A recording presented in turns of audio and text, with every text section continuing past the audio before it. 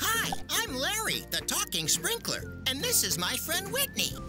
A great way to conserve water is by signing up for Water My Yard, and you'll receive free weekly watering advice. Sign up at talkingsprinkler.com today.